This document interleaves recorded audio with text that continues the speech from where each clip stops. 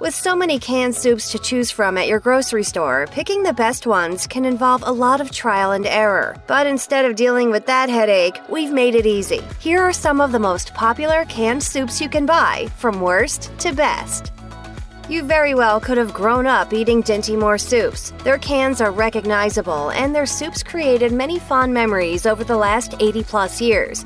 Unfortunately, Dinty Moore beef stew is no longer what it used to be, even 5 or 10 years ago. The problem will hit you right between the eyes once you open up the can. Dinty Moore beef stew went from being one of the beefiest stews around to being almost devoid of beef. Remember those big chunks of beef from your childhood? Well, those chunks have been replaced by smaller, less flavorful flecks of meat. Additionally, Dinty Moore beef stew used to have an equal amount of potatoes and carrots, but these days the quantity of potatoes far outnumber the carrots. To make matters worse, the potatoes don't have as pleasant of a texture as they used to, and the carrots you do find will underwhelm. Campbell's has a Well Yes line of soups that they market as a healthier alternative to their other soups due to their use of real ingredients and the foregoing of all artificial flavors. While not all of the Well Yes soups are bad, the Well Yes chicken noodle soup is a disgrace to Campbell's good name. Sure, this soup might not have any artificial flavors, but the problem is that they forgot to put in any flavors at all, whether real or artificial. The chicken in it is minimal and manages to be virtually flavorless. The noodles in Well Yes Chicken Noodle Soup are very light egg noodles made from a mix of quinoa flour and wheat flour. Other ingredients include white beans that taste like nothing, watery tomatoes, and round orange bits that are apparently carrots. Should you buy this soup? Well, no. That'd be a waste of money. Rao's makes highly rated marinara sauce that is legitimately some of the best stuff that you can find anywhere in the world. They've become a trusted brand if you want quality. Rao's soups, which hit shelves for the first time in 2019, must also be really good, right? Tragically, that is far from the case. Rao's Italian wedding soup has beef meatballs, pork meatballs, spinach, carrots, onions, and pasta resting in chicken broth. Those are impeccable ingredients, and Rao's clear soup jar makes it look fancy and could cause your mouth to water.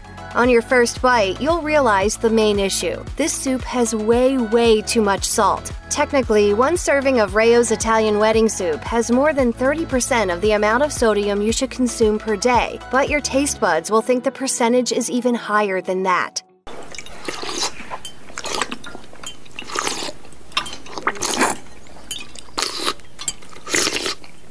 While Wolfgang Puck chicken and dumpling soup won't cost you an arm or a leg, this soup is definitely pricier than the competition. Factoring in the connection to world famous chef Wolfgang Puck and the yummy picture on the can, your expectations will be sky high. But be prepared to be left unsatisfied. Although Wolfgang Puck chicken and dumpling soup isn't bad, it's painfully average. The chicken in this soup is stringy and not the quality you would expect. The amount of potatoes in the soup is also disappointing. The few so called dumplings you find in the soup are just slimy pieces of dough in reality, and the overall flavor is watery too.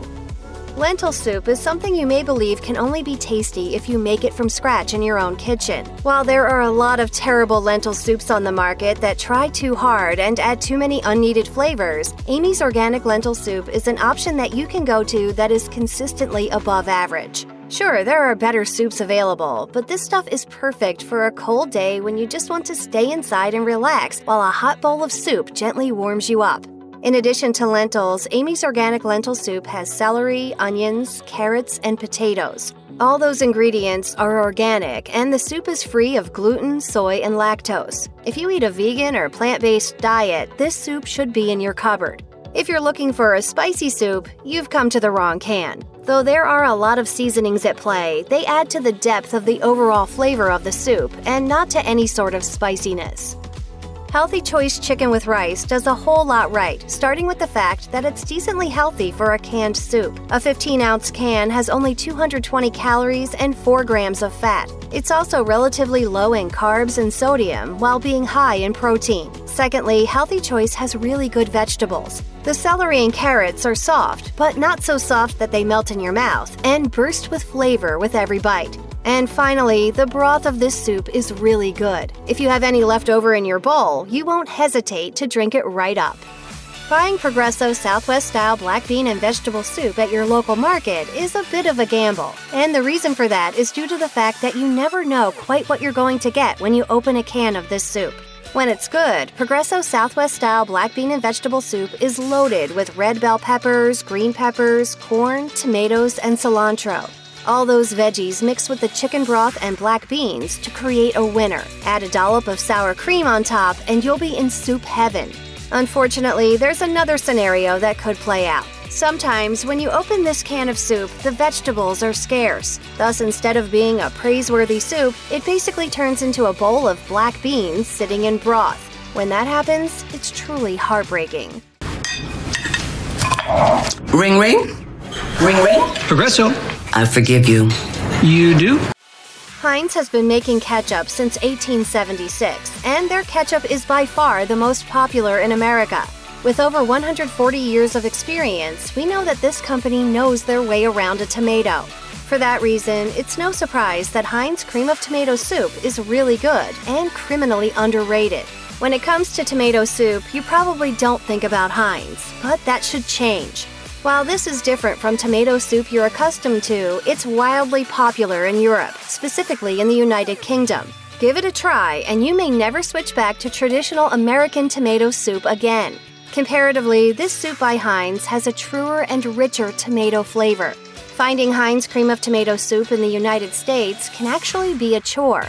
However, you'll find it very much worth the effort, and eventually, Heinz won't just be your go to company for ketchup. You will turn to Heinz for tomato soup, too.